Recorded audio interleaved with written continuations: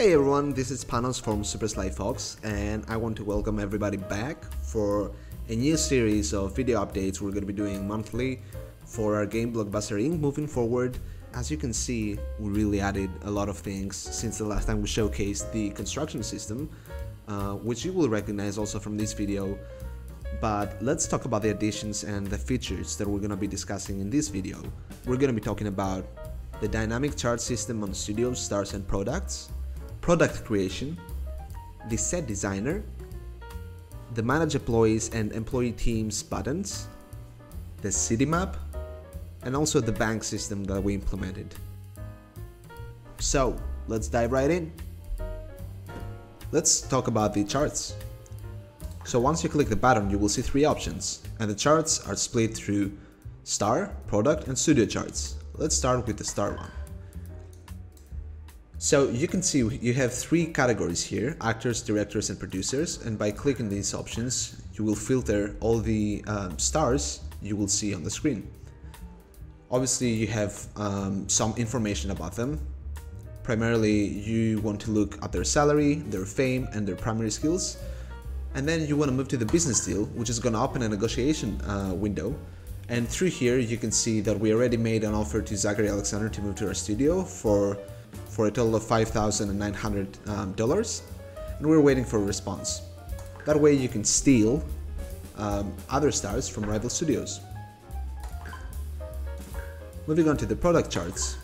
Here you will see all the available products that you can take action uh, by negotiating them and you can purchase their IPs so you can produce your own prequels or sequels based on your rivals' products, or you can sell your very own.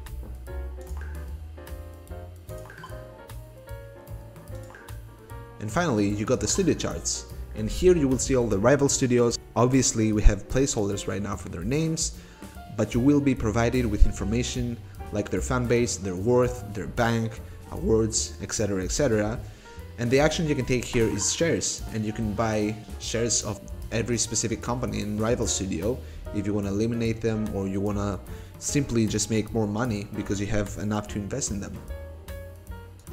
So as you can guys see, we already got like our employees arriving at our studio set and you know they're actually just completing a movie. The actual process we're going to be discussing in a little bit, but let's first finish the filming. And once you finish the filming stage you can then release your product and we can see tomorrow as in next month we're gonna have our first release. So let's actually talk about how you're creating uh, a movie or a TV show in our game all you gotta do is go down here on the product creation button and once you open this you got like this window with a lot of options now this might seem intimidating at first but it's actually pretty simple um, let's say you have hired all the people that you want first. You get to choose the product type, the genre, and themes. Obviously, there's going to be much more themes eventually, but let's say we are going to do a vampire movie again. And then you have like all the product sizes, the age focus that you're going to be unlocking through the ages, uh, through the research system we're going to be implementing soon. Um, and then you assign the roles. I mean, you can assign the producer and the writers. We actually got two writers, but you can also work with movies with just like one.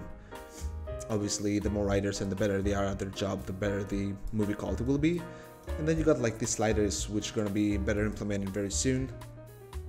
And you can see here on the product options, we got um, our script writing, which is like this screen right here. And this is the first phase of the product creation. And then we get to choose exactly in which sets um, you know we're making the movies. Um, we can also utilize you know custom sets that we're going to be making in our set designer and we're going to be showcasing that in the next chapter. And then we get to pick our actors this uh, this specific genre action only needs one right now and also the directors so then you create the product, and everybody's going to be working on this movie um, as soon as their actual first work tasks are done. So now that everybody's free, they're going to be moving on to the next project until, you know, Sly Fox's Return is released. Alright, when it comes to the set designer, this is a new screen a new feature that we implemented recently to give the players the option to design uh, through the objects down here and the themes that we have um, their own sets. Now this doesn't give you the option to apply cameras and you know any particle effects and practical effects or anything like that yet. We're gonna show you in a bit how it's done. But let's go and dive in into the options that we have uh, within the set designer, uh, which also gives you the opportunity to upload and download other people's creations through the Steam Workshop. So we're gonna name this set a test set, and obviously you have different choices here. It's gonna enlarge the whole area where you can place items, but we're gonna keep it on small right now. Uh, we can make this a stand set. So stand sets are sets that give you the ability to perform obviously stands in them, whereas it is easy, medium, or high difficult stands, and that depends uh, if they're gonna be successful or not on you know the actual athletic skill of your actors or stuntmen. But we can talk about this another time. And then you have like the set theme. We're gonna make this. Um, let's choose um, maybe an alien one. Click yes and let's hide these uh, placeholder models as you can see right here zooming in it has now a different kind of like wall set and we're gonna go on the alien things right here just to showcase what's been going on.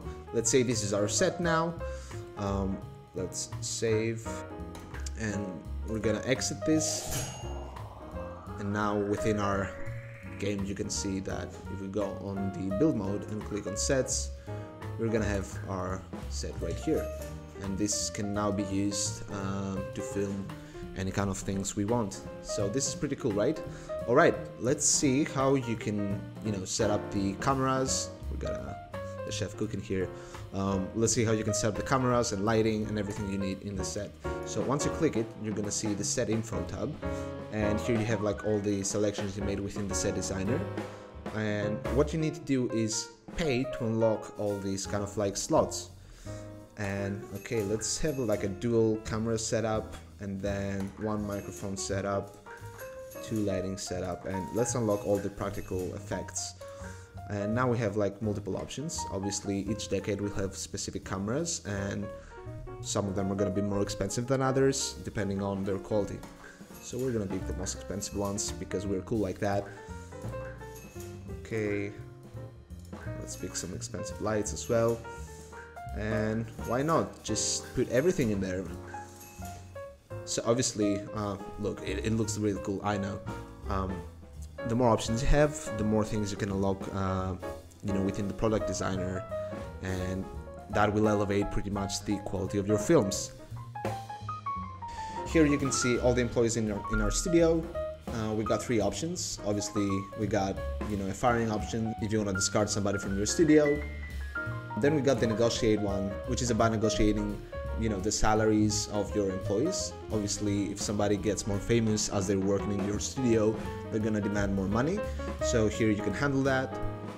Um, oh, you can see you know their salary expectations. So right now she's uh, Jamar Gavin is getting paid $949 and she wants 1186 um, so we can we can actually see the acceptance chance. Obviously this is gonna accept that. It's much more money.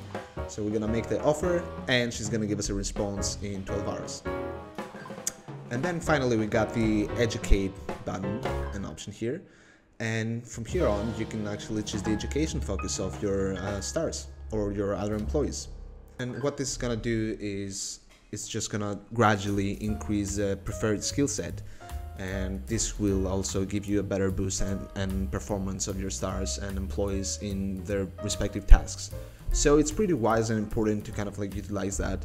Once you have hired you know a lot of employees it might be wise to start looking into the manage teams options. And what this does is let's say you want to have a group of actors together so you can assign them better in specific products.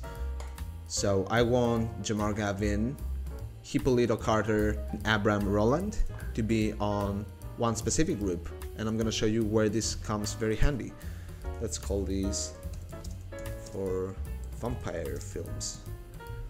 Alright, so now they're part of the actors for vampire film. And what this allows us to do is, let's say you want to create a new product and it's gonna be an action, vampire theme You can see here assign employees from teams.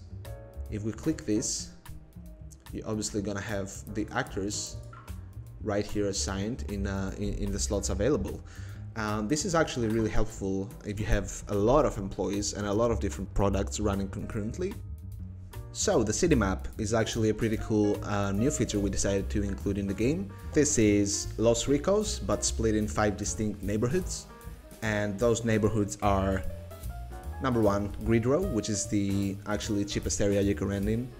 Then you got downtown LR, Green Springs, Vanita Beach, and Pinnacle Hills, which is the highest renting uh, area, also the most luxurious, obviously. And why are there ratings and stars in each of these areas? Well, every actor you're gonna have, or every star, which includes directors or producers, they will have a specific level of fame. Let's say we wanna hire Alfred Dayron. And Alfred Dayron has a fame level 1. So he will only, you know, be asking us to rent him a flat, which is a level 1 uh, residential area. But if he had a level 5 fame, he would require us to rent him an apartment in Pinnacle Hills. Alright, so let's talk about the bank button down here and the options that it gives you.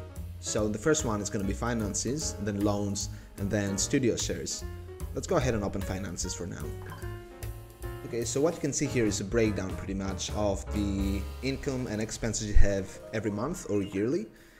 And you can, you know, uh, go through that through the dates and everything through the months or the years to kind of like see in retrospective what has been going on um, you know in your studio right now all you can see is under income is movies. Uh, we're making profit of uh, out of Sly Fox's Return and the movie number three which is in total 414,000 and then the expenses is salaries for all our uh, employees as well as some uh, bank loans that we've been uh, you know paying back Moving onwards to loans, uh, as you can see, we have already one running uh, first loan that is named, but let's go ahead and, and, and, see how you take a loan here. There's a very important thing, you cannot take a loan if your balance is in the negatives.